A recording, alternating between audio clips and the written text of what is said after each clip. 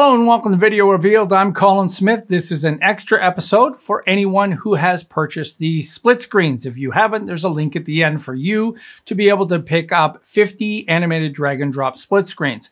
So uh, I, I created a tutorial on how to make your own, a, a, tutorial on how to use the ones that I've created, and I've received a few requests asking how to put multiple clips into the split screen. I'll show you two ways to do this it's pretty easy. Let's go have a look.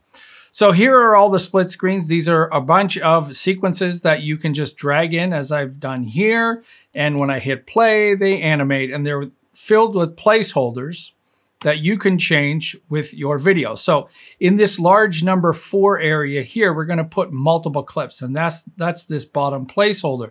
So one way to do that is to use nested clips. And the nested clip is just another sequence uh, filled with a bunch of cuts. So each one of these is a quick enough cut that you'll see it in that. Number four.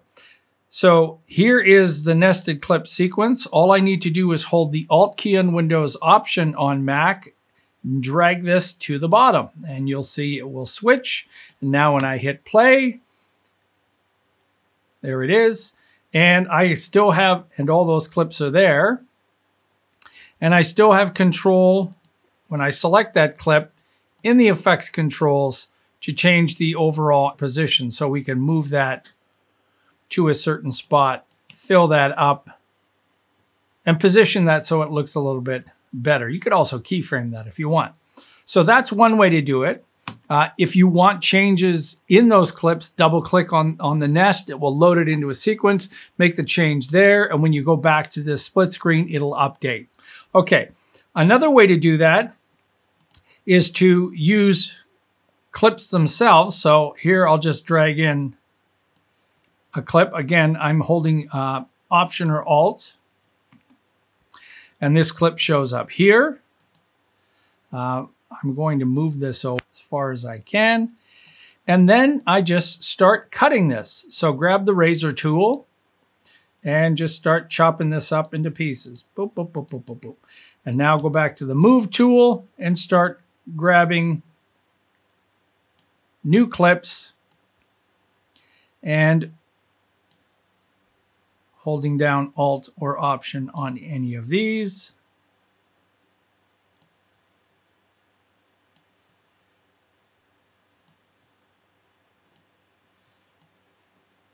And now each one of these has its own reframe. So if I select that one, you'll see all the same controls over here. So we can reposition that one different from the other ones because it might be slightly different. Um, and this one here, see, we can't drag him down. This is shot with him at the top of that clip. So we need to um, press the F key just as I showed in the other tutorial, hit the F key and set a different uh, in point like this one here. Now Option or Alt drag and flip that out. Okay, so now we've got multiple clips in that number four region and two different ways to do that. And we could also do the same with any of the other uh, of those. So anytime you want to Anytime you want to use any of these amazing split screens and add multiple things inside there, you can. All right, so there you go. Thanks again to everyone who has purchased these split screens. $20 gets you all 50 animated drag and drop split screens and anything else I put on the members section of videorevealed.com. All right, hope that makes sense to you out there and have fun with your split screen.